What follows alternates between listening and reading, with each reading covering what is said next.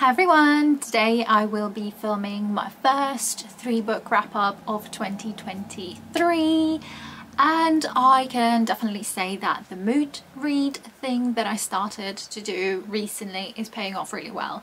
I've had one five star already, which was my first book of the year, and then the other two that I'm going to be talking about are four star books, so that's great. So the very first read of 2023 for me is As Good as Dead by Holly Jackson, which is the third book in a trilogy by this author, which is like a YA thriller, murder mystery type of thing maybe in a way. Uh, this book is bigger than the other ones, it's 560-ish pages or so and I know that there's a massive division between people who absolutely hate the book and the people who absolutely love it, who think it's the best book in a trilogy. I'm one of those people. This is the book that I've given five stars to. I absolutely loved it. It's different in tone from all from the previous two, definitely. It's definitely darker and it's gone into a completely different direction but it's amazing. I obviously can't tell much about the plot of this book because that would be a spoiler. But to give you an idea, if you've never heard these before, so the first book was A Good Girl's Guide to Murder and we follow Pip who is a high school student and for her school project she is investigating a case of a murder and a suicide of five years old that happened in her town. And in the previous two books there's a lot of mixed media there's a lot of like interviews different files different emails and different bits and bobs. So there's a lot of mixed media which I always like in books like this because it just adds an extra layer. There is some of this in this one but not as much as it was in the first two. What I can tell you about this one though hopefully without any spoilers is that in this book the main character herself is targeted. So it's basically about her. She's in a situation, let's just say. Um, so yeah, whilst in previous two she was investigating different cases, now it's her as the main thing, the main plot that was going on. So there's not too much of a investigation, not too much of a mixed media in this one, but there is still some of it. And um, wow. I knew who was behind the thing that's going on in this book.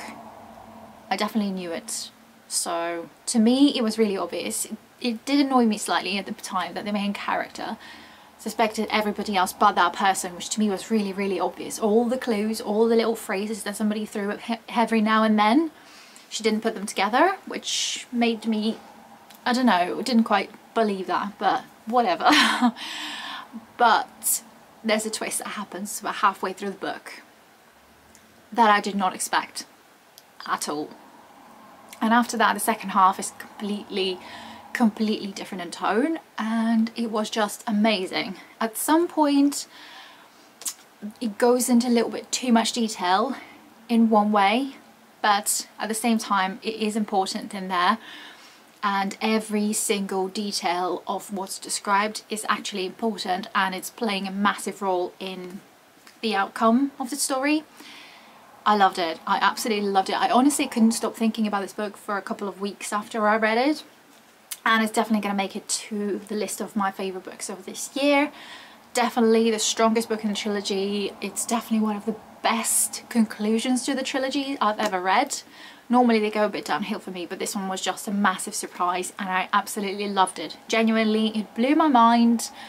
It was so detailed and it was just so suspenseful, constantly suspenseful, and I just bloody loved it. It was, it was great. My second book of the year was in a similar sort of genre and that is Close to Home by Cara Hunter which is the first book in a D.I. Adam Fawley thriller series. D.I. Adam Fawley in this one is investigating a case of a how old is she? Eight-year-old Daisy May who is missing from her family party and of course they suspect the parents or somebody close in the family because that's how these things always go. But they're trying to investigate who or the guests or parents or whoever is lying to them. This was interesting. I gave it four stars And I did mention a couple of videos before, The Whole Truth, which was the fifth book in this series, which was one of my favourite books of 2022, was amazing, absolutely fantastic. This one was similar. I, I gave it four stars. It didn't, it didn't quite get five stars, I think. But I don't know, I don't quite know why. I think there's some topics that are kind of discussed in the book and just some topics have made me slightly uncomfortable and it's just a personal preference so it's nothing really to do with the book. It's just the fact that I don't like reading about those things. It just made me uncomfortable and that's the only reason why it's a four star. I think otherwise I might have given I might have given it five stars. Who knows? Maybe the next one in the series will be a five star book. I don't know for sure but I'm going to find out when I read it. What I especially like about this book is that there's no chapters.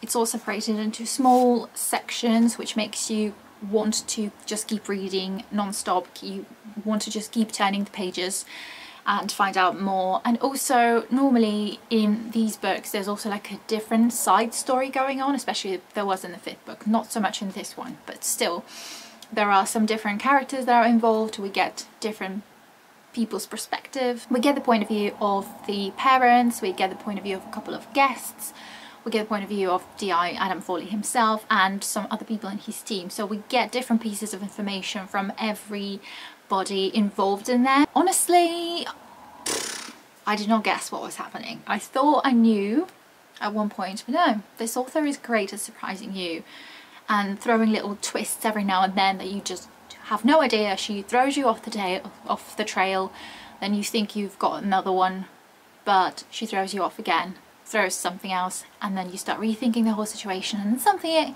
completely different happens that just I think these books are unpredictable, completely unpredictable.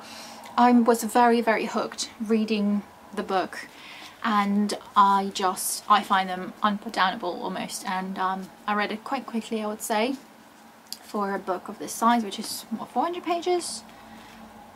Yeah, so I've really, really enjoyed it. I would definitely recommend these. I haven't heard many people talk about these at all. In fact, I've not heard anyone talk about it. So I think they're really quite underrated. So I'd highly recommend this one. And then the last book that I'll be talking about is different in um, genre, Festergrimm by Thomas Taylor. So again, because I'm doing mood read, it can lead me anywhere, absolutely anywhere. So one weekend I just wanted, for some reason I was in the mood for this specific book out of nowhere.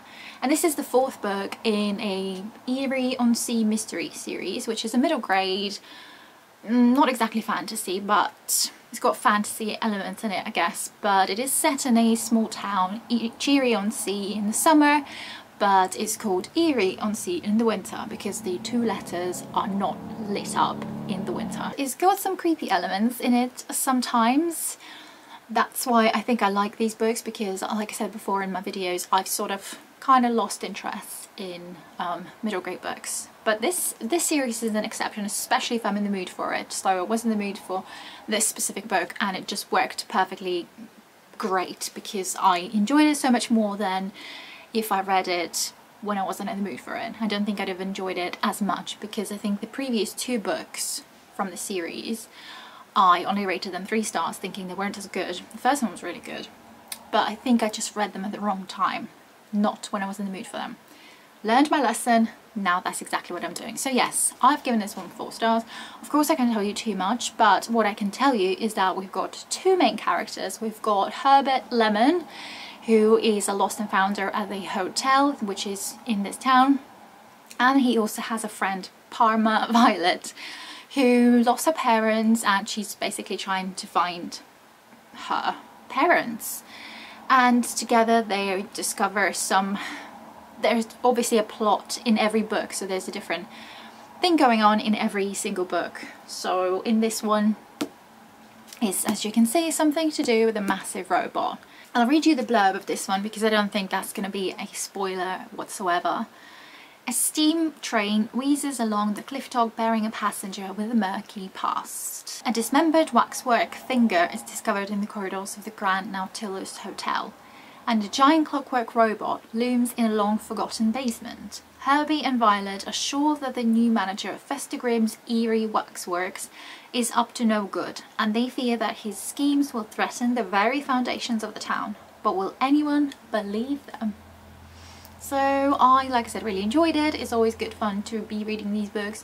I'd say they're also really quite atmospheric in this small town on the sea. I find them really atmospheric and I love the friendship between the two main characters and we've got some villains in there as well and all the side characters are actually quite interesting too. So I really enjoyed it. I had a really good time with this one. And then I'll also briefly mention a reread that I did in January with my friend. We're slowly getting through Harry Potter series. So in January I also finished Harry Potter and the Prisoner of Azkaban of course I really enjoyed it, I always do. It's another five star but I'm not going to be talking too much about it because I've literally reread them about 10 times.